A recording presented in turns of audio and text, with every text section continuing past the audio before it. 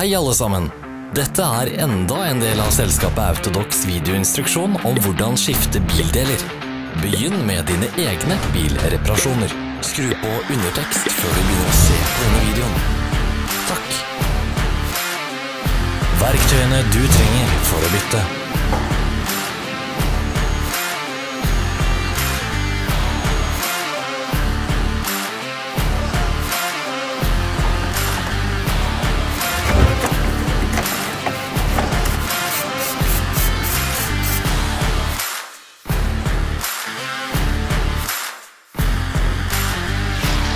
Ikke gå glipp av våre nye interessante videoer. Bare husk å klikke på abonner-knappen og bjelleikonet. Vi legger ut nye videoer hver uke.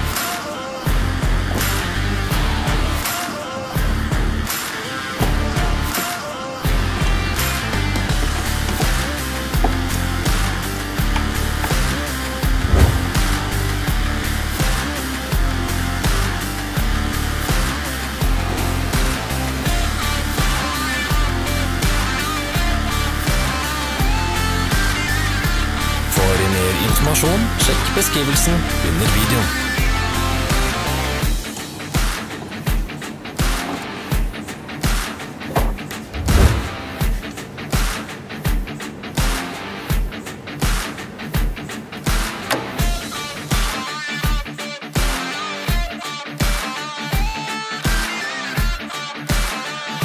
Se beskrivelsen nedenfor for lenker til nettbutikken vår, hvor du kan kjøpe reservedelene.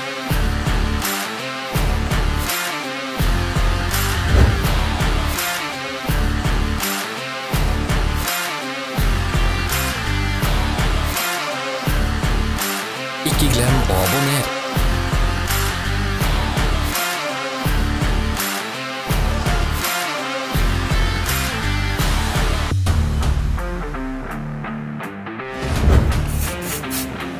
Takk for at du så på. Hvis du likte videoen, skriv til oss i kommentarfeltet. Følg oss på sosiale medier. Vi er på Instagram, Facebook og Twitter.